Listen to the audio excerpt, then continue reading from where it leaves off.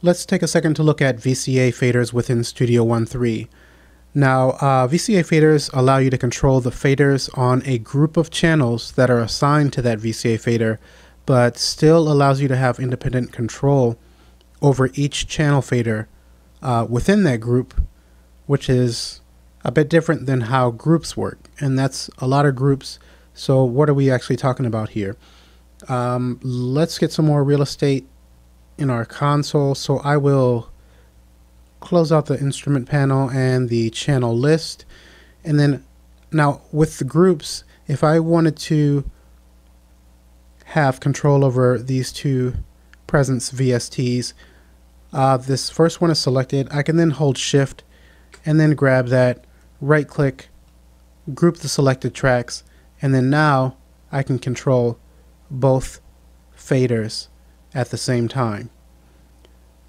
Um, which is good, but what if I want to have independent control? What if I'm working with 8 or 10 or 16 tracks and I want to be able to still get in and control each individual level level while still having one fader that I can control all of them at the same time if I wish. Uh, that's where the VCA fader comes in. So let me right click and dissolve that group and we have a couple of different ways that we can add a VCA fader. Now I have a group of drum channels here. So it begins with this main BD. So I'll select that, come down to snare 2, hold down shift and select that. I'll then right click and then I'll add a VCA for selected channels. So now here's our VCA and I can then use this to control all of the faders there. But unlike the group track, I can still come in and make an adjustment on a per channel basis. So that's one way that we can add that.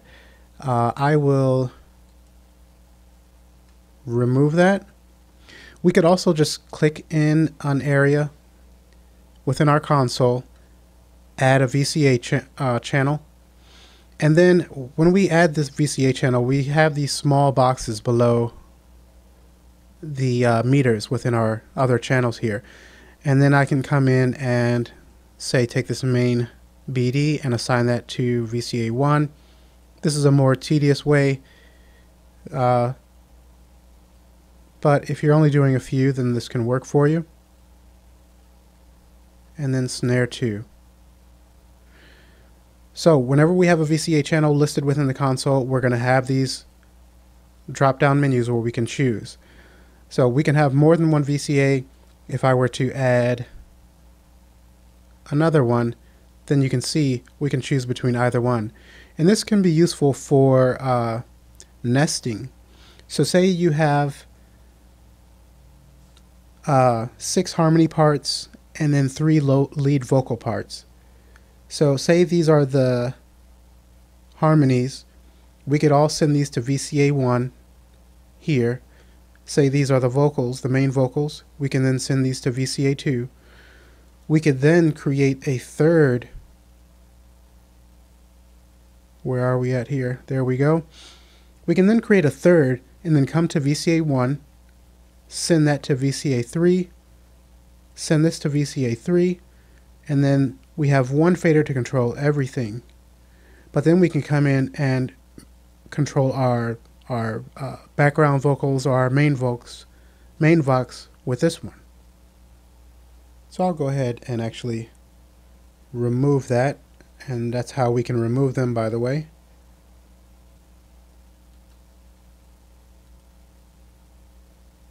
And so now I've got all of my drum channels assigned to this one VCA. If I were to come in and play this track back,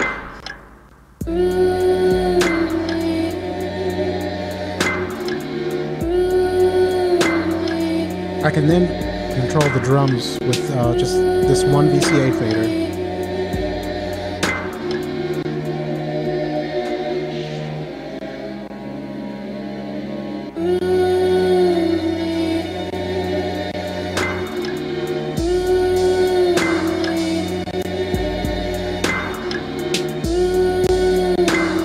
But still have individual control.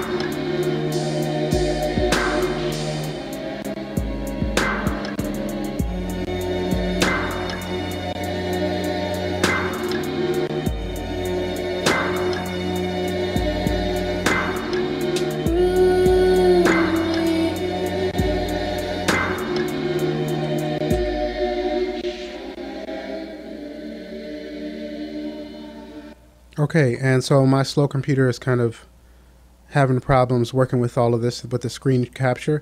But anyway, I think you get the point here um, and how you can use uh, VCAs in your mixes. And the best way to think of it is just as a controller. We have no audio that is being routed to this uh, VCA channel. And as a matter of fact, I still have all of these drum channels. As you can see here, they're routed to bus 1. And that's here. And so I've got effects that I'm still using on all of these channels. So assigning them to this uh, VCA controller is not going to take away from our ability to apply effects to these uh, channels and still take advantage of using a bus uh, for greater control of our mixes. So that is working with VCA faders within Studio One 3, and I will see you in the next video.